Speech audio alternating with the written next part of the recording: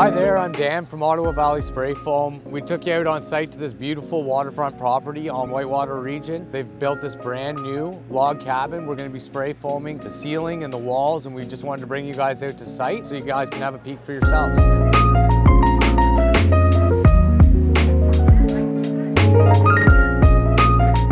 Guys are in on their way. They started spray foaming the walls. We had a bit of issues with some frost on the ceiling, so we're waiting for the building to warm up. We're applying heat. We're using closed cell spray foam insulation for this project. They're excellent for log cabins because there's no really insulation on the walls. The insulation comes from the logs themselves. So now when we're wrapping it with spray foam insulation, closed cell, we have the moisture protection, we have the king of insulation, which is spray foam, and it's gonna be the best package to provide the best efficiency for this project.